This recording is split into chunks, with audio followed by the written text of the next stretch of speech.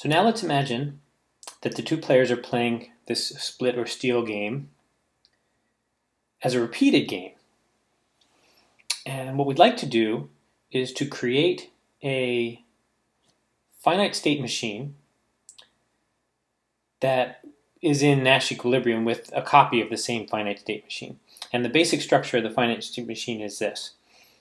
So it starts off in this state here. And what this state says is that the player playing this, this machine will, will, will choose split.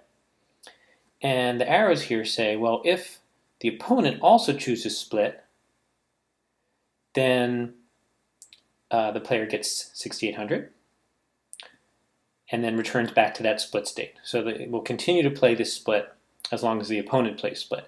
But if at some point the opponent switches to steal,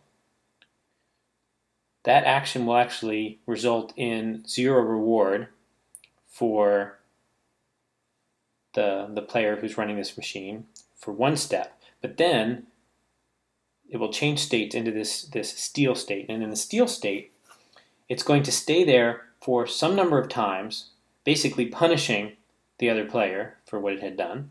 But after some number of rounds of that, it returns back to the split state and is ready to cooperate again. So the question is,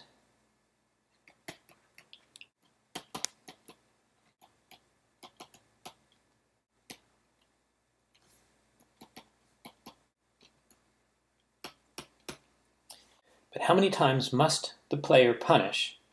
How many times it, should it go around doing this punishment loop? So that the best response for the other opponent, the, the other player, is to always choose split.